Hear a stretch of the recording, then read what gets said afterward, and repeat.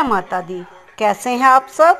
मैं आशा करती हूँ और माता रानी से प्रार्थना करती हूँ कि वो आप सब पर अपनी कृपा बनाए रखे और आप सभी सुखी हों, संपन्न हों और स्वस्थ हों। आज जिस टॉपिक पे हम बात करने वाले हैं, वो है अक्षय तृतीया। अक्षय तृतीया पर इस बार बेहद शुभ संयोग बन रहा है। अगर आप कुछ विशेष उपाय करेंगे, दान करेंगे तो इससे माँ लक्ष्मी आप पे प्रसन्न होंगी, आपके कष्टों को हरेंगी, आपके घर में धन वृद्धि होगी और आप जो ये आपत्तिजनक और कष्टपूर्वक समय चल रहा है, उसमें भी आपको पॉजिटिविटी मिलेगी।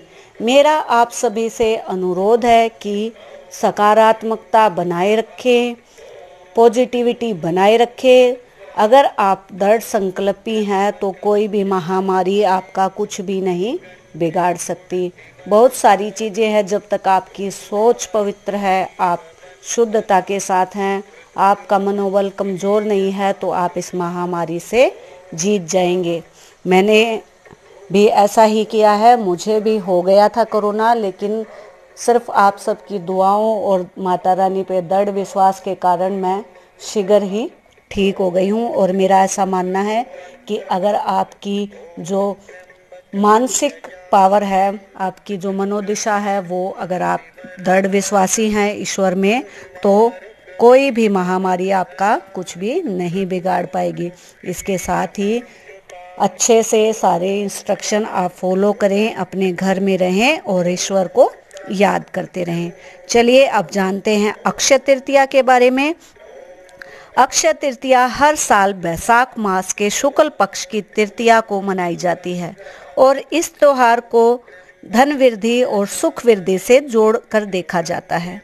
मान्यता है कि पूरे साल का यह सबसे शुभ मुहूर्त होता है। मान्यता है कि इस दिन बिना पंचांग देखे या फिर कोई शुभ मुहूर्त निकलवाए बिना कोई भी शुभ कार्य किया जा सकता है। वहीं जब अक्षय तृतीया पर कोई शुभ संयोग हो तो इसका महत्व और अधिक बढ़ जाता है। इस बार भी ऐसा ही कुछ होने जा रहा है। इस बार अक्षय तृतीया बेहद शुभ संयोग से होने की वजह से अगर इस दिन धन वृद्धि के लिए कुछ उपाय आजमाए जाए तो हमें अवश्य ही अक्षय फल की प्राप्ति होती है। आइए जानते हैं कि कौन से हैं ये शुभ योग और क्या है उपाय। ज्योतिषीय गणना के अनुसार इस बार अक्षय तृतीया बेहद शुभ योग में मनाई जाएगी। इस दिन स्वार्थ सिद्धि योग एवं मानस योग बन रहे हैं, जो कि बेहद शुभ योग माने जाते हैं।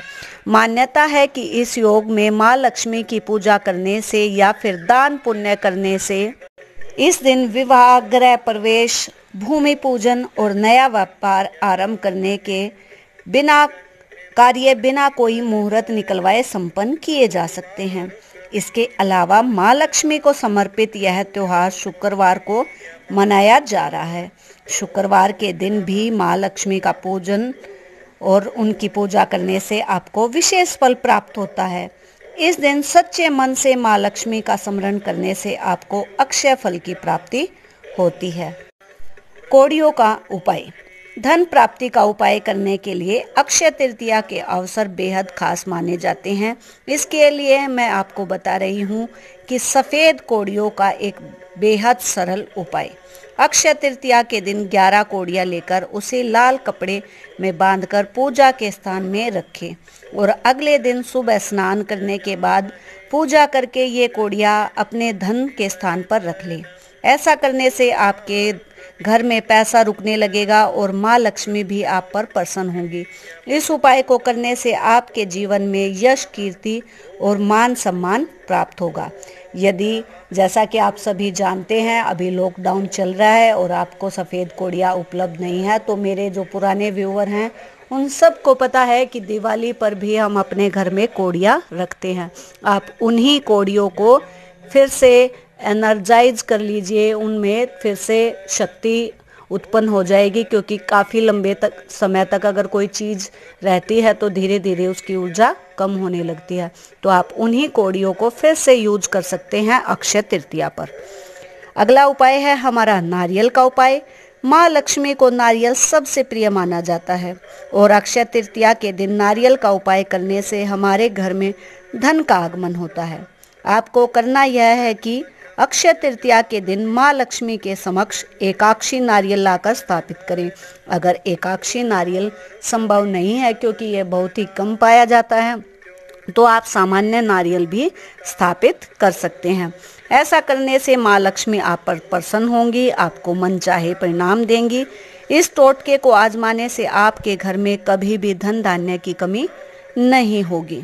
अगला उपाय है उनके लिए जिनकी शादी में बाधा आ रही है। तो बहुत सारे ऐसे जवान युवा, युवती हैं जिनको शादी में प्रॉब्लम आ रही है, उनका विवाह नहीं हो रहा है तो उनके शीघ्र विवाह के लिए ये उपाय उनको करना है।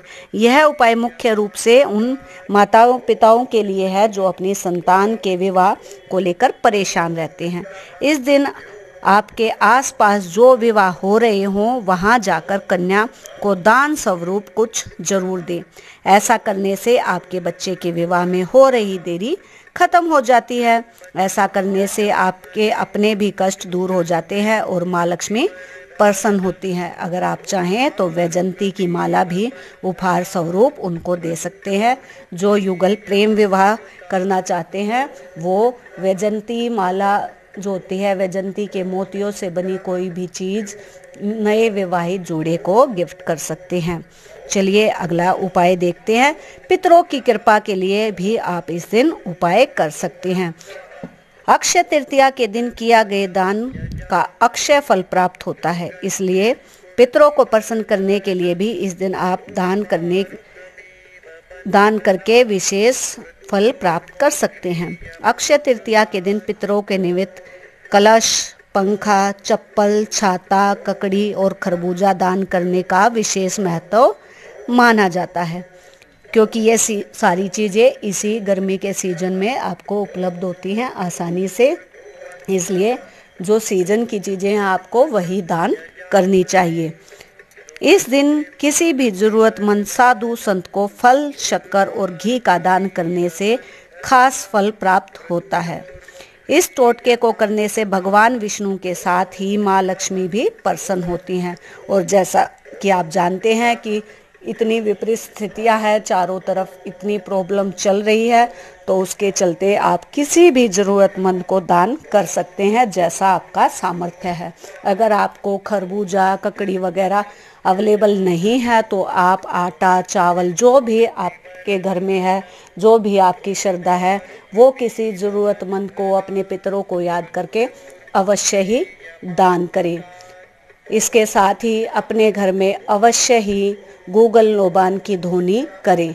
अगर आपको नहीं पता कि धुनी कैसे करनी है, क्योंकि धुनी से हमारा जो वातावरण है वो सकारात्मक होता है और नेगेटिव एनर्जी उससे हटती है।